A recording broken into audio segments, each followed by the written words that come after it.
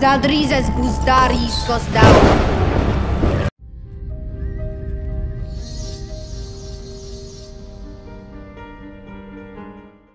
We've got close-ups of Aemond Targaryen and Criston Cole and a few other things that I want to mention uh, that have leaked from the set of Season 2 House of the Dragon. Before I jump into any of that, please do me a massive favor. If you're a fan of my content here on YouTube, please subscribe. It's the best thing you could ever do. If you want to help out my channel, you want to help me succeed.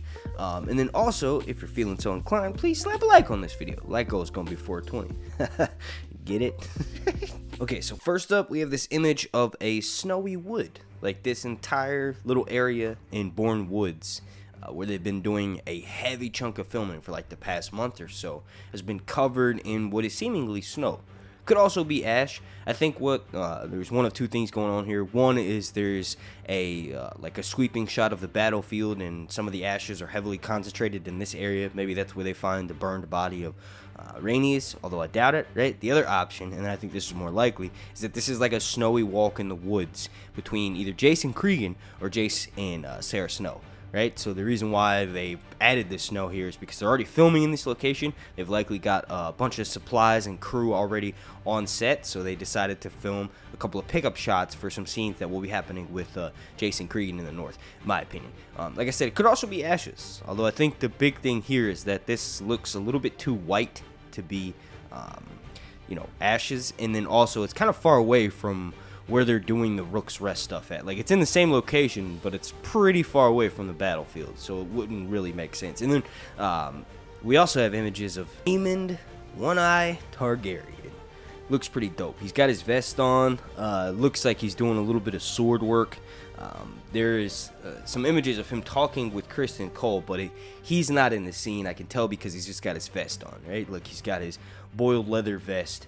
Uh, if he was like in the on the battlefield, if this scene was going to appear on screen, he wouldn't have his head wrapped up. Like his hair'd be down, he'd be in full armor. Uh, and they're likely going to be filming those scenes later today. But this is really cool to see. It's awesome to know that Aemond is going to get to fight a few people. Like I feel like at Rook's Rest, it would be really dope if he had Vhagar sort of parked off on the side and he was maybe leading the charge with Criston Cole. Like I know it's extremely risky, but Aemond isn't the type to sort of stand back and let others fight his battles for him right? And then we have the image of him like literally holding back the sword. Looks so awesome. And in this next image, we have Criston Cole. Now, supposedly, the rumors that went along with this image is this is Criston Cole post-battle Rook's Rest, and he can barely sort of stand. There was like a 10-second video that came out with this image that shows Criston Cole uh, shooting a scene that's going to be on our screens, which is why I'm not showing in this video. But in that, uh, he sort of struggles to take a few steps before ultimately kind of collapsing. But Cole doesn't die here. Cole's probably not going to die until like the final season, right? He's surrounded by a bunch of pe people and filled with arrows. But um, it appears as though whatever happens at Rook's Rest, he barely escapes with his life. They're showing you how intensely uh, insane a lot of these medieval battles are when you're wearing full suits of armor. You can literally struggle to breathe and move after a certain amount of time of wearing this, you know, massive suit of protection. Real quick as a side note, are they really changing canon so that somehow Cole, who will be Hand of the King, will have uh, the chain that Tyrion makes for himself when he's the Hand of the King in a Clash of Kings? Like, what? How does how is Cole wearing Tyrion's necklace of interlocking hands? T what? Well, I mean, I guess it's a cool nod.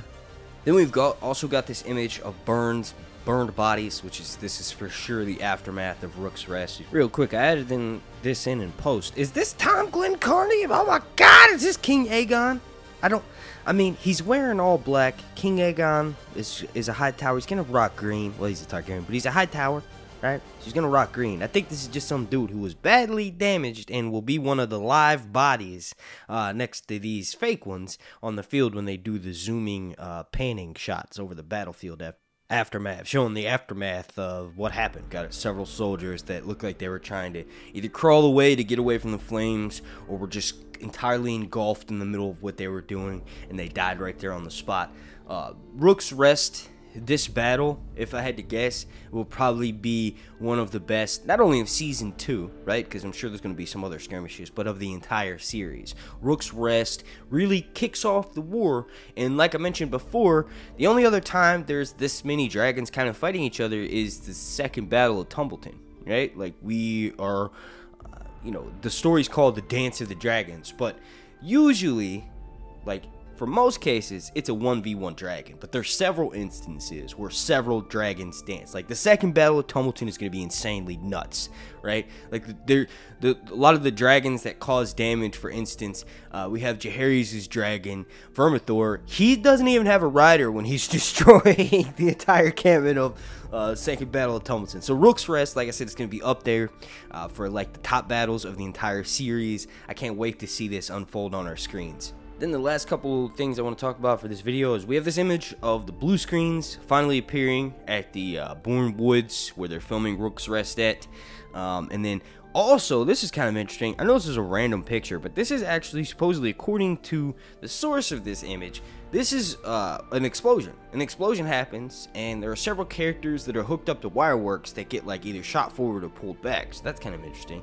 And then lastly, the last thing I want to talk about this video, most exciting, there has supposedly been crew members seen on set for House of the Dragon. There haven't been any images of it yet, right? But there's supposedly been crew members that have been seen carrying something uh, that's like a prop that's uh, inside of a box that's titled Aegon's Burnt Armor, right? So we all know what happens at Rook's Rest. Aegon survives, but the metal from his armor is fused into his skin because he's so badly burned from the battle. He just is completely incapacitated for the better part of a year. He sleeps most of the day, he barely does anything, and he finally comes back into the picture after a lot of the characters have died, right? So this is Aegon's triumphant moment. Um, he does, you know, uh, have several major events to play after this, but I'm just saying this is like his like key role. This, this defines who he is for the entirety of the dance is after Rook's Rest. So if that's the case, the rumors are true. It's going to be amazing to watch that scene uh, unfold on screen. I can imagine Tom Glynn-Carney is just going to be writhing in pain, and there's going to be, you know, an active fire around him, like his, he's going to be bleeding really badly. The scene is going to be nuts. If you all enjoyed this, please Interesting segue there. But if you all enjoyed this, please slap a like on it. Like was going to be 420. Super special shout out to my uh, Dragon Knight tier over on Patreon. Uh, members of those tier are Destiny, Mixed Queen, Phillips 420, Tyler Schnabel, the North Must Remember, Breanne Johnson, and Pebbles83. And thank you so, so much for watching. Uh,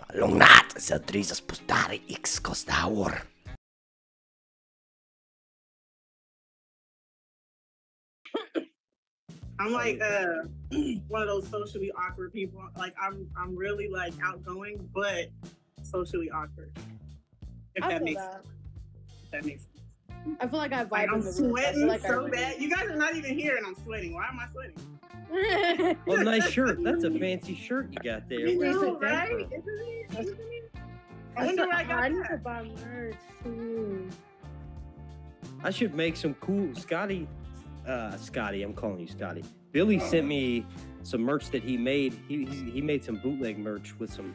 Uh, he gave me the idea to put. Why does it say your meeting will end in ten minutes? Because you scheduled it six six thirty. Yeah, so it was only gonna be 30 minutes. Wait, like, well, no, it's telling me I got to get Zoom Pro. They want me to pay. I think. Hang on, I got to take this dab. My nails getting too. Uh, Man, I gotta reheat mine. I don't want to. That would be my last dab. she'll she'll eat me. Barking when I got to Yeah, if I, if I do more dabs, I might just sit here and stare at y'all.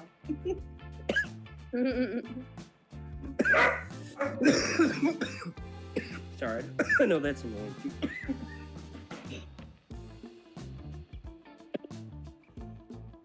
um, but yeah, so the song of Ice and Fire is awesome. Oh, yeah.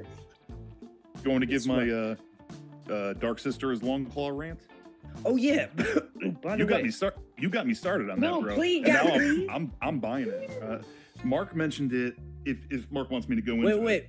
Wait, yeah, I was about to say, go Do ahead you know where and tell everybody, Blackfyre is? like, tell everybody your YouTube channel and stuff, because I'll upload this clip to YouTube. Like, Yeah, send me, Okay. send me your send me your info. I'll follow you for sure. For So, M- Mark is actually the reason I have a YouTube channel. Um, so I was watching him for through season seven and eight, and all throughout the long nights. Um, and I had some